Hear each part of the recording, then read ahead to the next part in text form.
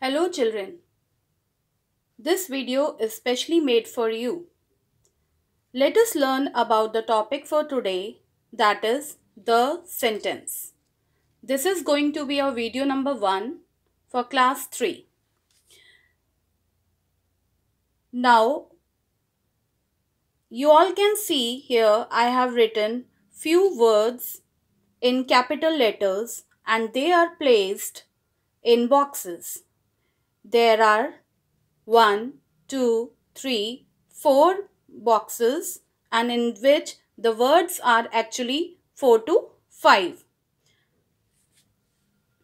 The above mentioned words are called jumbled words. These all words 1, 2, 3, 4. These all words are called jumbled words. These words when arranged properly form a sentence. So, the correct sentence for the above words become Children love to eat mangoes. Because if we unsolve these uh, jumbled words, this first word will become mangoes. Second word will become eat. Two. Third word will become love.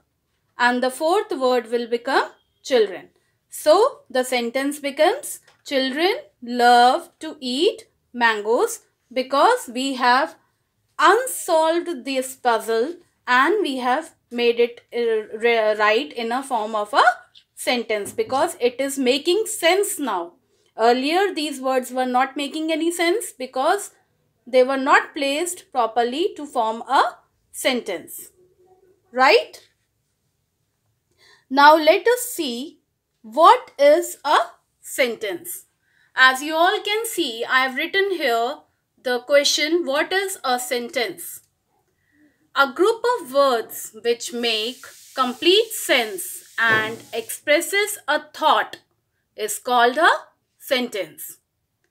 A sentence is a, a, a sentence always begins with a capital letter and ends with a question mark, full stop and sometimes with exclamatory mark also. So what we have recaptured here is that the words which we place in order to form complete sense and each word expresses a thought. Okay, so this is called a sentence. I have written it uh, many examples here. The first example is a is David, boy, good. So these all are in a form of a jumble words. So, but I have put slashes as you can see these uh, slashes in between so that we can separate one word from the another word. So if I solve this first puzzle, it will become David is a good boy. And then because we are ending the sentence, we have to put a full stop here and the first word will be capital. Come to second uh, example. You were going are. So if we solve this, it will become where are you going? Yes, it is making sense now. Come to third. Am to birthday party. I a going. Again, if we solve it, it will become I am going to a birthday party. Then fourth one is a lovely it such dress. And I have put an exclamation mark here because it is expressing a thought. So if I solve it, it will become such a lovely dress it is. Right. So these all are the words which have been formed in a form of a sentence. So, this is called sentence. Right?